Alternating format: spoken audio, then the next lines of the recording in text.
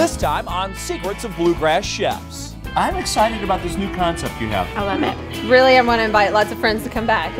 It's OBC Kitchen, which pays tribute to all things Kentucky with food and drink. And a historic building in downtown Louisville is reborn with a new mission. We'll go inside the kitchen with the head chef at Decca, who's reinventing fine dining with fresh local foods. It's all right now on Secrets of Bluegrass Chefs. Welcome to another edition of Secrets of Bluegrass Chefs. I'm Tim Laird in Lexington, this time at the OBC Kitchen. OBC is named after Old Bourbon County, the mark that distillers stamped on their whiskey barrels before floating them down the Mississippi from Kentucky. Nowadays, OBC is not only the mark of fine whiskey, but also a mark of fine food. That is incredible. It's fantastic. I'll be back. This is wonderful. We'll sample some of OBC's signature dishes coming up. And we'll go into the kitchen with the executive chef to see how to make some of these southern masterpieces at home. Another new secret. Looking forward to that, Tim. And we'll also drop in on one of Louisville's top chefs. We'll go into the kitchen at Decca, where Annie Pettry is using fresh, seasonal Kentucky ingredients to create one-of-a-kind dishes like this. Secrets to rolling cavatelli. It's pasta that's made from scratch using a very old-school technique. Bear with me. It's a little squeaky. The secrets to that coming up. But first, we begin in Lexington at OBC, where we find Tim Laird. Tim? Back in the kitchen with Chef Matt Combs, who knows his way around the kitchen. How are you, Chef? Doing great, sir. How are you? Good to see you again. I'm excited about this new concept you have, the OBC Kitchen. The food at OBC is sort of Southern fusion. It reminds you of the meals your mom used to make with some new world twists. I grew up with uh, grandma and a mom that cooked on a, on a regular basis and, you know, seven days a week, and it was always biscuits and it was chicken and waffles. and it's, it's, it's all that Southern fare. The chicken and waffles here are not your grandma's. Much better than my grandmother's chicken. As crispy as can be. Not your grandmother's chicken and waffles. Looking forward to eating more. We'll get the secrets to those coming up, along with a new way to look at surf and turf. We start with the turf and then we follow up with the surf. Turf and surf. Turf and surf at OBC is made with carpaccio and fried oysters. Oh, yeah! And wait until you see what's up first. Well, today we're going to start off with probably the most favorite appetizer that we serve at OBC, which is our short rib tacos. We braise short ribs in cola with uh, Cabernet balsamic and that's slow cooked for about three and a half hours. Oh no, that's a, there's a secret revealed right there. Braised in cola. Yeah, so we're using we're using soda to actually help break down the proteins, and then we just turn those into tacos. We got a nice little kale jicama slaw. We got carrots, bell peppers, jicama, which is gives a nice crunch to the dish. Uh, toss that with just a little bit of uh, vinaigrette, just to give it some a little bit of acidity to kind of cut through. So jicama, a little Latin ingredient, and also we got some Kentucky ingredients, which is the kale. So it's kind of a, a, a, worldly dish. It's a nice fusion. yeah, it is. Bringing them all together on one taco. We're gonna toast our tortillas. We use uh, four-inch flour tortillas, so they're nice shareable tacos. Really nice. So we're just gonna toast these on the flat top just so they get a nice little crisp. Uh, from there, while those are toasting, Do a little quick flip. quick flip. I see you're using your tongs, chef. Might take it. it's the asbestos fingers. They don't burn. That's right. Once the tortillas are toasted on both sides, it's time to build this signature OBC taco. Build the tacos right on the plate.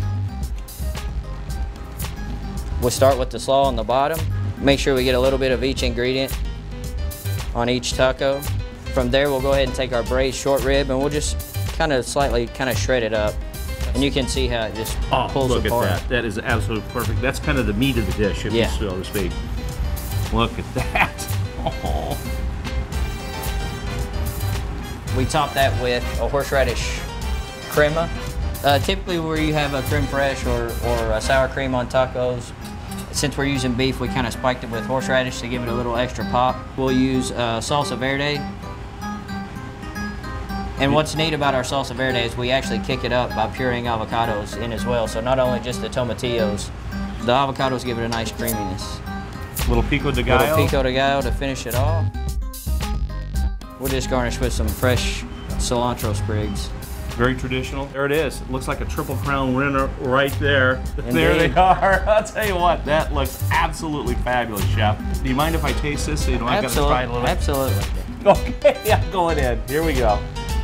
Love it. God, everything looks so good. Hmm. Maybe that's the reason it's our number one appetizer. Triple Crown of tacos, and I'm saying this is downtown Triple Crown. This is awesome. I I gotta go in again. Wow. I like the salsa verde that you have that avocado. It's kind of creamy, and I love the little bit of kick that's in the uh, horseradish you Yep. have in your crema. This is awesome. I mean, every ingredient is working together, tasting good, and awesome. It's very well-rounded. Oh, it's just perfect. I mean, this is one of the best tacos I've had. tender and delicious. The tacos are awesome. They have lots of different flavors. so many colors and so many flavors. Love the uh, salsa verde with the guac with the avocados in it. It's really good. Excellent. Thank you, Chef. well, thank you. Beef tacos are always a great way to begin at OBC, and so is this. It's what they call turf and surf. Chef, I've heard of uh, surf and turf, but you have turf and surf. So what's the difference? Well, seeing as though we're we're affiliated with Prime Beef Steakhouses and, and we serve a lot of prime beef as it is, we kind of got our priorities straight. We start with the turf and then we follow up with the surf. So traditionally, absolutely, the surf and turf would be steak and lobster, but in this case, we're using something completely different. Yeah, we're using a prime beef carpaccio with crisp fried oysters, so it the, the presentation and the plating of it makes for a great shareable appetizer. Absolutely great. Looking forward to eating more. We're using uh, prime beef, it's, and you can see with all the marbling that's in, and this is a top butt sirloin. We'll take the loin and we'll roll it tight in plastic, and then we have to freeze it. So once it gets frozen solid, then we can slice through and get super paper thin slices. With the prime rib thinly sliced, the chef moves the focus to the fried oysters. Have our, our oysters that are in a buttermilk brine. Fried chicken in a butter uh, milk brine is great, but you can do that with the oysters as well. Same thing, the enzymes that, that work with the oyster and helps ensure that you got a nice tender product in the end. Another new secret. We also use our house uh, made seasoned flour and then just toss them in the flour so we can get a nice breading on them. It looks like you want to get a good coating on those all the way around, all right? All right, and then we're just gonna move this straight to the fryer. Flash fry those. One thing that you don't wanna do is overcook your oyster.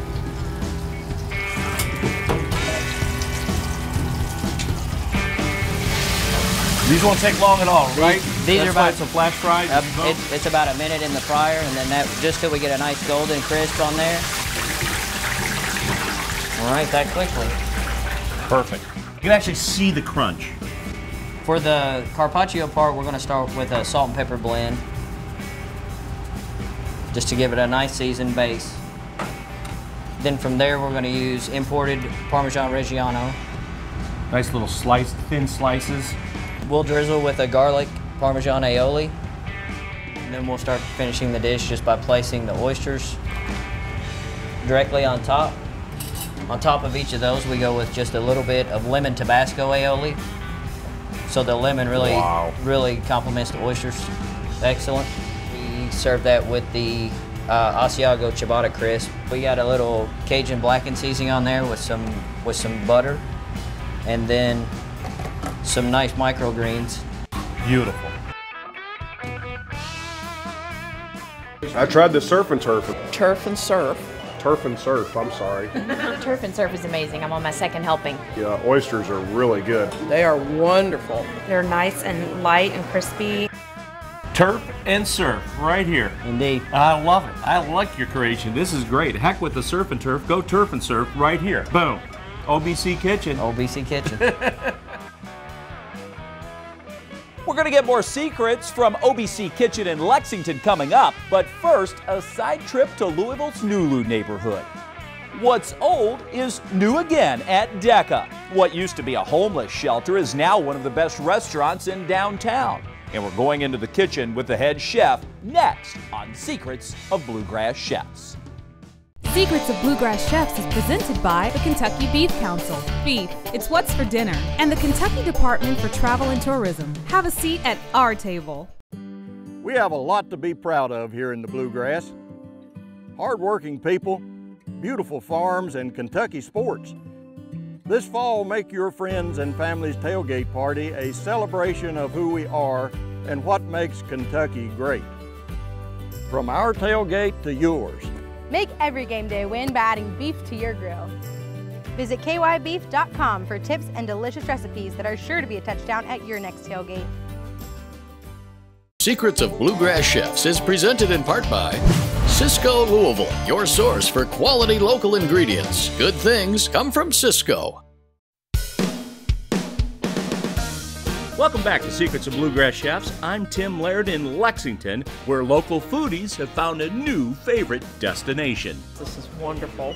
That's incredible. It's fantastic. I'll be back. It's OBC Kitchen, named after Old Bourbon County. They're full of fine bourbons here, but also you can get full on fine food as well. Coming up, we'll get the secrets to OBC's chicken and waffles, and I promise you never had them like this before. It tastes like a cheddar biscuit and it's just delightful. It's delicious. Oh, wow. And I love the bar at OBC, where the cocktail menu always changes with the seasons, and the classics never die. We actually do a pre-prohibition style old fashioned. Uh... We'll make our way to the bar to see how to make an old fashioned, the old fashioned way. Coming up, but right now, let's check in with Kevin Harned in Louisville. Kevin Harned back with you, this time at Decca in Louisville's Nulu District on East Market Street. And here, you get much more than just dinner. It's an experience. Part of the reason that experience is so enjoyable here is that you're in such a beautiful environment. You can be outside next to a fountain or a fire pit or downstairs in the cellar and feel kind of like, you know, wrapped in someone's arms down there. It's very comfortable down there. Or in the dining room with tall ceilings and beautiful art on the walls. It's it's just a very nice and unique experience no matter where you are in the restaurant. And if you're looking for total privacy, well, there's a room for that too. Perfect for business meetings or proposals of a different type. we like to make everyone feel comfortable. It's romantic and vibrant at the same time, both the atmosphere and the food. The atmosphere and the food really elevate each other. Chef Annie Pettry is the creator in the kitchen at Decca, and in here, she feels right at home. It's one of those things I've always loved since I was a kid. Proceeded to uh, learn as much as I could and work every day doing it since then. From New York to San Francisco, she's worked her way to Kentucky, and she's brought her own brand of fresh flavors that are prepared to perfection. I've never tasted anything like it at all. People are raving about this pasta, and wait until you see the secrets behind it. Secrets to rolling cavatelli. So here we have some of the cavatelli dough, which is made with ricotta cheese. You can make your own. Um, also has Parmesan Reggiano and bread flour or a high gluten flour and water. And then we have this old school cavatelli roller that we found on eBay that's the secret to the cavatelli. And so we've cut it into strips and we're gonna feed it through the machine. And bear with me, it's a little squeaky. So we just feed it through the grooves and we roll it. And what we end up with are these little ricotta dumplings that look kind of like grubs. Put these on a tray. From here, we're going to blanch them. Now I have some rapidly boiling salted water. I'm gonna dump the pasta in there. And when it floats, I'm gonna check it and it should be about done. Before I make the sauce, I've roasted off some shiitake mushrooms, sliced them, and then browned them in butter so they're nice and uh, caramelized. A few thyme sprigs, some lemon juice, salt. Got a nice big cube of butter here. Some chiffonade of fresh sage. This butter is gonna melt and start toasting and turn a nice, nice brown hazelnut color. I'm gonna go ahead and add some of the mushrooms that I've, I've roasted to get them to, to warm up. And when it gets to the place I want, I'm gonna add some lemon juice to stop the browning. Okay, so now it's nice and brown and caramelized. I'm gonna turn the heat off just so it doesn't flame. You definitely do that at home so that you don't get a, a flaming reaction from the lemon juice. Now I'm gonna add a little bit of cream. I'm gonna add the dumplings. Give it a nice toss. And if it starts to thicken up on you too much or if the cream starts to break, just add a little bit of the pasta water. Have your plate.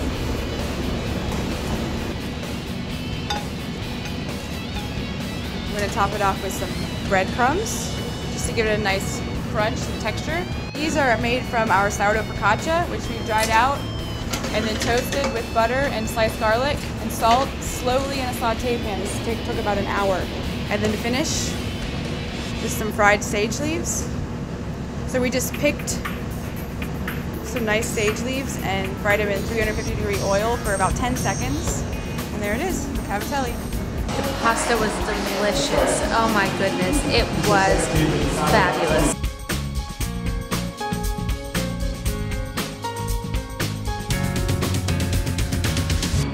By the way, the building that houses Decca dates back to the 1870s. And what a lot of people may not realize is that it was most recently the Wayside Christian Mission. You'd barely even recognize it now. Stay with us for more secrets of bluegrass chefs as we head back to Lexington for an old fashioned, made the old fashioned way, and chicken and waffles like you've never seen before. Definitely not grandmother's chicken and waffles. Not grandma's at all. Secrets of Bluegrass Chefs is brought to you in part by PNC Bank for the achiever in you. We have a lot to be proud of here in the Bluegrass. Hardworking people, beautiful farms, and Kentucky sports. This fall, make your friends and family's tailgate party a celebration of who we are and what makes Kentucky great. From our tailgate to yours. Make every game day win by adding beef to your grill. Visit kybeef.com for tips and delicious recipes that are sure to be a touchdown at your next tailgate. Welcome back to Secrets of Bluegrass Chefs. This is the show that takes you out to eat at Kentucky's favorite restaurants. And right now, we're headed back to OBC Kitchen in Lexington, and it doesn't get any more Kentucky. The dining room is well appointed with luxurious leather, yet it breathes the history of Kentucky through its tables made from centuries old barn wood. And behind the bar, they mix the cocktails with a nod to the old days as well. For more on that, let's go back to my co host, America's Chief Entertaining Officer, the CEO, Tim Laird. When you come here, the writing's on the wall. You're going to find a lot of bourbons and whiskeys. There's a long list of craft beer too, and a gigantic selection of fine wine. Over 140 bottles of wine in the collection. That's so. quite a selection. Yeah, we got so not just bourbons, wines too. Yeah. You've got quite a craft cocktail program here, and it changes through the season. Yeah, absolutely. We, uh, we do all new cocktails every three to four months uh, based on what ingredients we can get fresh and what we're able to make in-house. Now, if I wanted just a regular old-fashioned or Manhattan, I could get it? Oh, absolutely. We actually do a pre-prohibition style old-fashioned. Uh, we the, the cherries and uh, oranges that get muddled in there came, uh, came about afterwards. Can you show us how to do it? Yeah, absolutely. Excellent, Let's get Christian. to it. So the first thing we're going to get is our mixing glass here.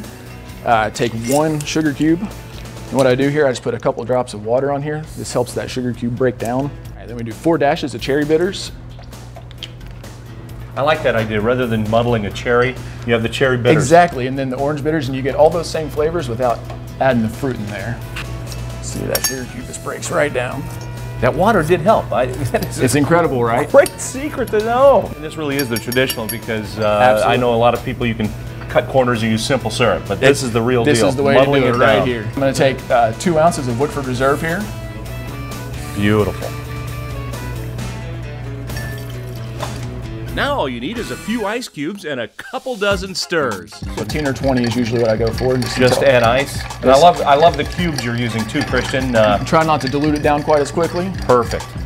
You know by touch. I know by touch, exactly. I, when, when you can feel that glass getting just a little cold, you know it's ready. The fine julep strainer right into uh, a glass with those nice ice cubes. It's topped off with a thick wedge of orange peel. That looks absolutely fabulous. Christian, do you mind if I uh, try your Give it a taste and let me know what you I'll tell think. you what, that is great. And already you can smell the zest from the orange Absolutely. that comes up. It's just beautiful. Yeah, I usually All throw right. that down in there. And let- So here we go. Cheers. cheers. Wow. Christian, that is fantastic. I'll tell you what, this is why it's a number one seller. Absolutely. You're doing it right. I appreciate it. Thank you, Christian. Absolutely. It's delicious. They're full of fine bourbons here, but also you can get full on fine food as well. It's delicious. Fried oysters with carpaccio, And they are to die for. succulent short rib tacos, The short rib tacos are so tender. and they do chicken and waffles like nobody else. I got to go back into OBC's kitchen to get the secrets to that from executive chef Matt Combs. Can't get any more southern than chicken and waffles, but this is not your grandmother's chicken and waffles, is it? No, this isn't. We actually, we kind of dressed it up a little bit by doing a cornmeal waffle with cheddar cheese and chives. The cornmeal, the flour, and then all the leavening agent in one. Nice fluffy waffles, you gotta make sure that you don't mix it ahead of time.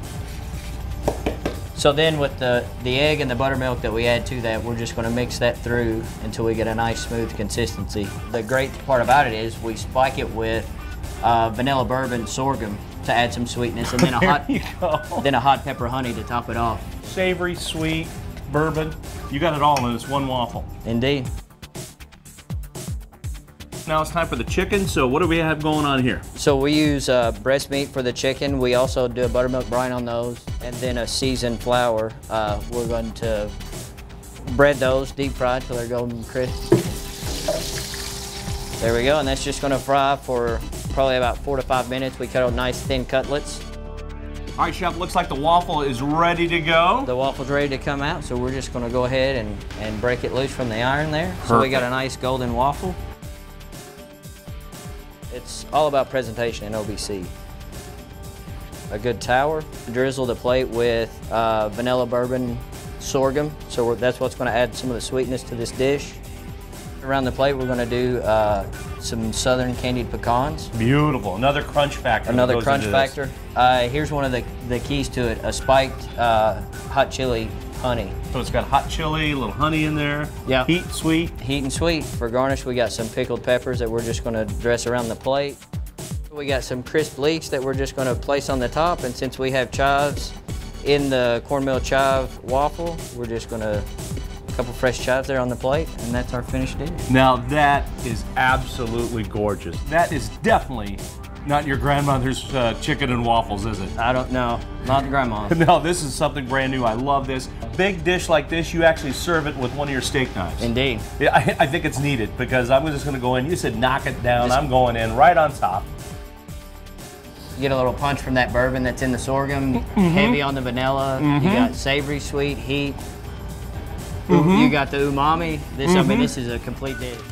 Very unique. I've never had chicken and waffles like this. And I'll tell you what, people really must love this dish. Waffles are delicious. This is unbelievable. Much better than my grandmother's. The sorghum, the vanilla bourbon, the uh, cheddar and chives in the waffle, just incredible. It tastes like a cheddar biscuit and it's just delightful. That is incredible. Again, not your grandmother's chicken and waffles. Something brand new from Chef Matt Combs right here at the OBC Kitchen.